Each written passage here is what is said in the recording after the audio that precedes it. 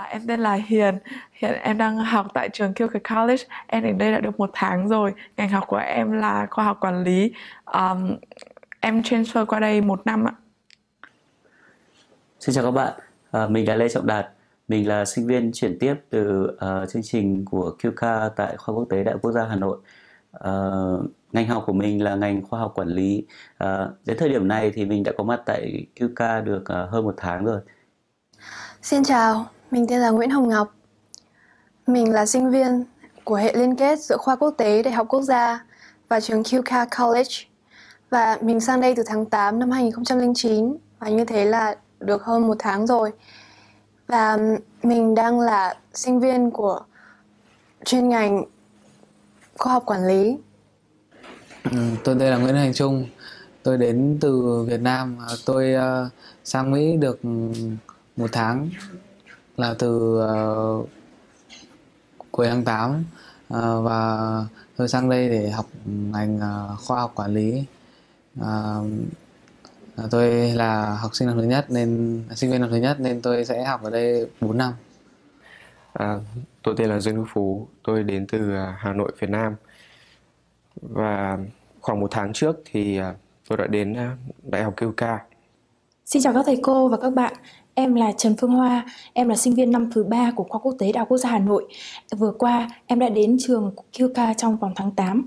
Sự khác biệt lớn nhất giữa um, môi trường học ở nhà và môi trường học ở đây chính là sự um, giao tiếp giữa học sinh và thầy giáo ở trên lớp.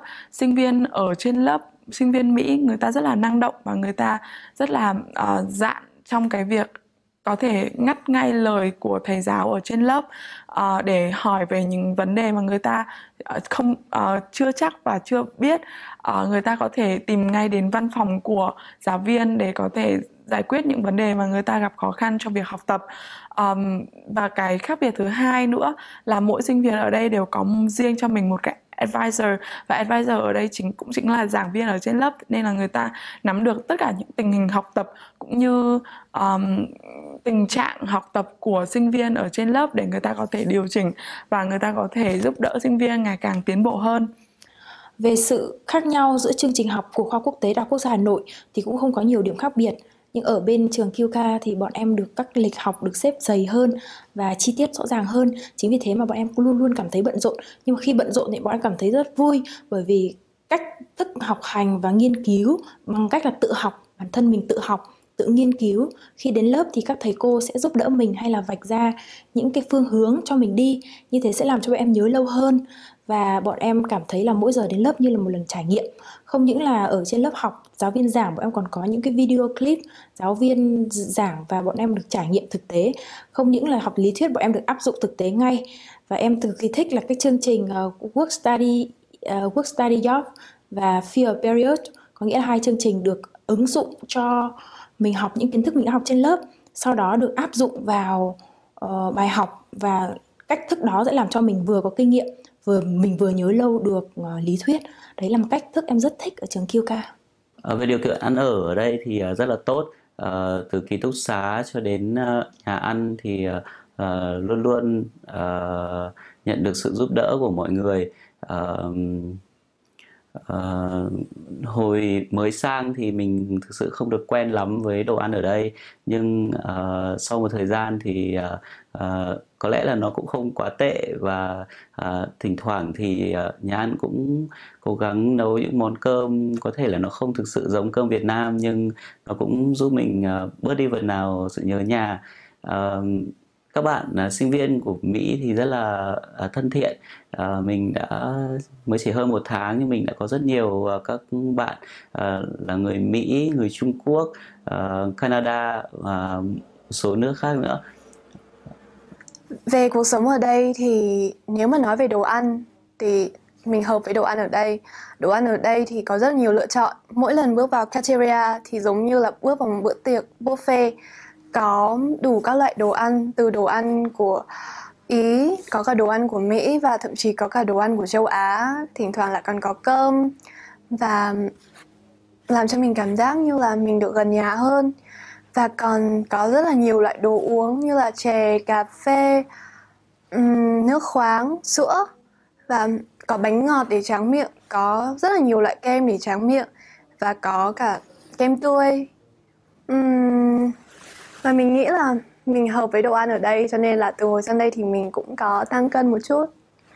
À, khi uh, lần đầu tiên tôi uh, đến QK khoảng một tháng trước, tôi uh, cảm thấy rất khó khăn khi uh, giao tiếp với bạn bè, uh, đặc biệt là bạn bè người Mỹ bởi vì uh, như các bạn biết đấy, ở uh, vùng phía bắc của nước Mỹ thì uh, sinh viên và các giáo sư thì nói rất nhanh nhưng à, một thời gian à, ở đây tôi thấy rằng là à, tôi có thể hòa nhập được tốt với mọi người bởi vì các bạn sinh viên Mỹ rất là thân thiện và họ sẵn sàng giúp đỡ những sinh viên quốc tế sang du học tại nước Mỹ.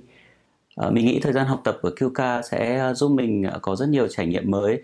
Ờ, ví dụ như ờ, với một môi trường học tập uh, rất là hiện đại uh, một môi trường tiếng để sử dụng tiếng Anh rất là tốt. Thì mình hy vọng rằng là uh, cái khả năng tiếng Anh của mình sẽ tốt hơn uh, sau thời gian học tập ở đây. Uh, bên cạnh đấy thì mình cũng có thêm uh, nhiều những cái uh, hiểu biết về xã hội về con người và về văn hóa nước Mỹ.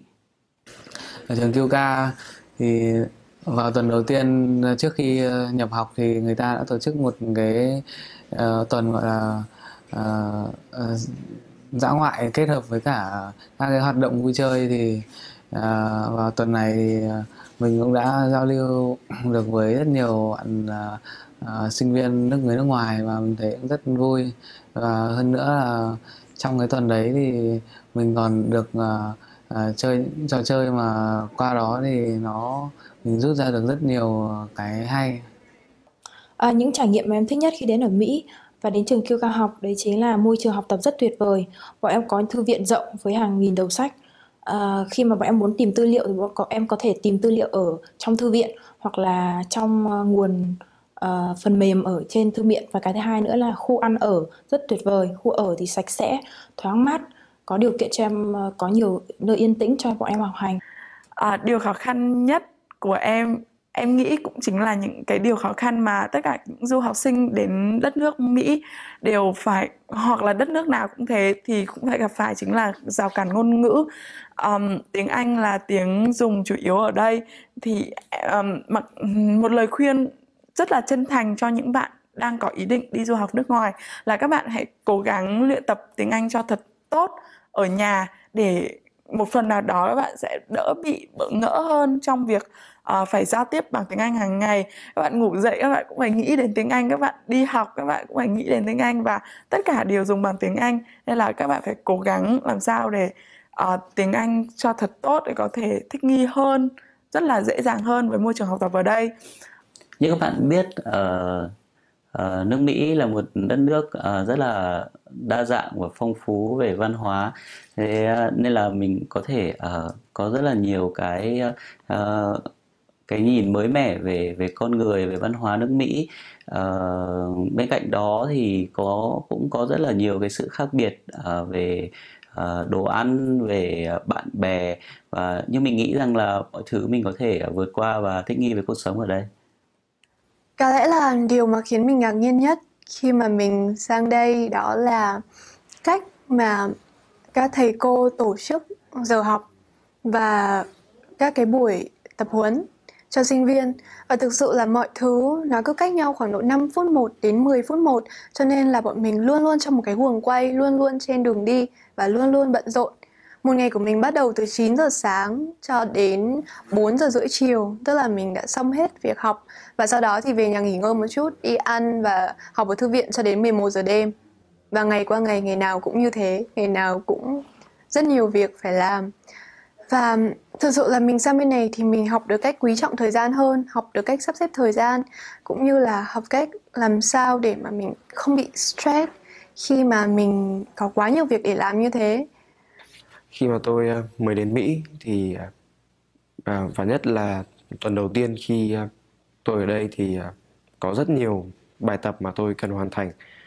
À, cái sự khó khăn đó à, đáng lẽ ra phải được chia sẻ. Ừ, khi mà tôi còn ở Việt Nam à, bởi tôi có bạn bè có người thân và đặc biệt là bố mẹ tôi thì luôn ở bên cạnh để ủng hộ tôi. Nhưng khi sang bên này à, tôi phải à, tập cách suy nghĩ độc lập và à, luôn luôn tự tìm cách giải quyết những vấn đề của mình. À, các giáo sư nói với tôi rằng là họ chỉ có thể giúp tôi bằng cách gợi ý và chỉ ra con đường của tôi chứ họ sẽ không à, trả lời những thắc mắc của tôi như khi tôi còn ở Việt Nam. À, một vài tuần đầu tiên thì à, tôi cảm thấy rất là nhớ nhà bởi vì à, từ trước đến giờ thì tôi đều à, sống cùng bố mẹ và à, hầu như là phụ thuộc vào bố mẹ của tôi. À, nhưng khi sang bên này tôi à, phải tìm cách à, sống độc lập à, sống à, một cách có kế hoạch thì mới có thể à, hòa nhập tốt và bắt nhịp tốt với à, tất cả mọi người ở đây được à, thực sự khi đến với kêu ca thì mình rất là ngạc nhiên với cảnh đẹp ở nơi đây. À, thực sự là nó rất là uh, êm đềm và con người ở nơi đây cũng làm cho mình rất là ngạc nhiên với cái sự thân thiện của họ uh, với những cái sự giúp đỡ của họ. Mình uh, cũng có một chút gì đó uh, nhớ nhà nhưng mà uh, các thầy cô các bạn uh, ở đây đã đã giúp mình uh, Ờ, cảm thấy ờ, bớt đi sự nhớ nhà ờ, và hiện giờ thì mình cảm thấy rất là ổn. À, khi đến đây thì uh, phát hiện ra một cái rất hay là uh, có một cái hồ ở trong uh, ký túc xá và uh, thầy uh, Gary đã rủ mình uh, và uh, mấy bạn Việt Nam nữa lên thuyền chơi thì ở đó mình đã được uh, lái thuyền mà mình thấy rất là thú vị bởi vì uh, lái tốc độ cao mà ở trên sông thì không có ai nên là mình lúc đấy cảm giác rất là lạ và ở Việt Nam thì cũng hiếm có cơ hội mà được lái thuyền như thế